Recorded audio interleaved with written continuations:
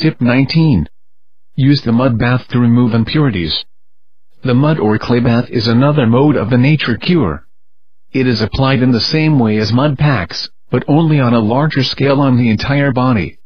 In this, mud or clay is first ground and sifted to remove all impurities, and then made into a smooth paste mixed with hot water. The paste is then spread on a sheet that in turn is wrapped round the body.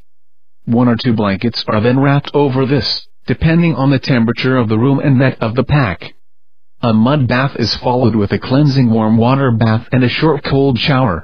The mud bath is found to tone up the skin by increasing the circulation and energizing the skin tissues. Frequent mud baths help to improve the complexion, clear spots and patches on the skin following skin disorders or due to smallpox. It is very beneficial in the treatment of skin diseases like psoriasis, leukoderma and every leprosy. This bath is also valuable in getting relief from rheumatic pain or pain in the joints caused by injuries. The duration of the bath should be from 30 minutes to 1 hour. Care should also be taken to avoid the patient catching a chill during the bath. Mud applications also form a vital part of natural beauty treatment.